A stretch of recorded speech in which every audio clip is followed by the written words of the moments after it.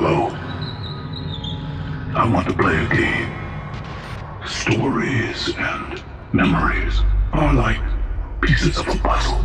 Your obsession with other lives has undermined your own existence.